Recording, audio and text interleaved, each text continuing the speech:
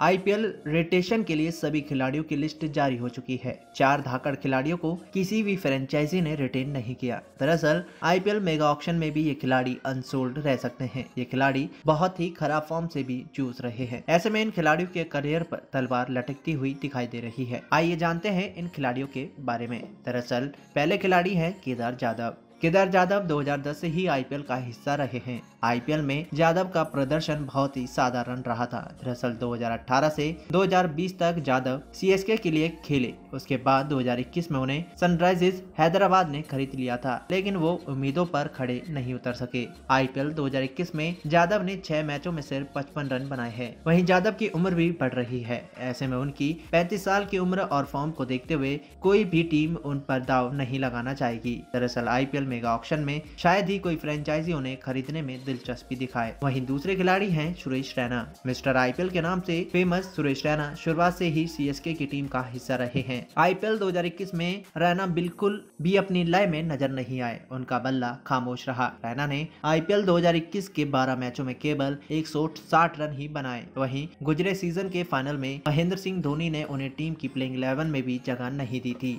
उनकी उम्र का असर उन पर दिखने लगा है। अब फील्डिंग में भी रैना फूर्ति नहीं दिखा पाते हैं। वहीं आपको बता दें सीएसके की टीम ने उन्हें इस साल रिटेन नहीं किया। वहीं अगर तीसरे खिलाड़ी की बात की जाए तो वो है दिनेश कार्तिक। कभी टीम इंडिया के दिग्गज बल्लेबाज रहे दिनेश कार्तिक, अब खराब फॉर्म से गुजर रहे हैं। वहीं आईपीएल 2021 में केकेआर की तरफ़ से खेलते हुए दिनेश कार्तिक ने 17 मैचों में 223 रन बनाए हैं। वो पूरे सीज़न रन बनाने के लिए तरसते रहे। वहीं आपको बता दें, कार्तिक ने केकेआर की कप्तानी बीच में ही छोड़ दी थी, ताकि अपने खेल पर फोकस कर सके। लेकिन उसका नतीजा कुछ भी नहीं निकला। कार्तिक ने टीम इंडिया के लिए तीनों ही फॉर्मेट में क्रिकेट खेला है, लेकिन अब वो छत्तीस साल के हो गए हैं। इस उम्र में काफ़ी क्रिकेटर्स रिटायरमेंट ले लेते हैं। ऐसे में आईपीएल मेगा ऑक्शन में शायद ही कोई भी टीम उनको अपने खेमे में शामिल करे। केकेआर की टीम ने इस साल उन्हें रिटेन नहीं किया। वही चौथे खिलाड़ी है चेतेश्वर पुजारा। टीम इंडिया के टेस्ट टीम के स्तंभ चेतेश्वर पुजारा को आईपीएल में खेले हुए अरसा हो गया है। उन्होंने आखिरी आईपीएल मैच 2014 में पंजाब किंग्स की तरफ़ से खेला था।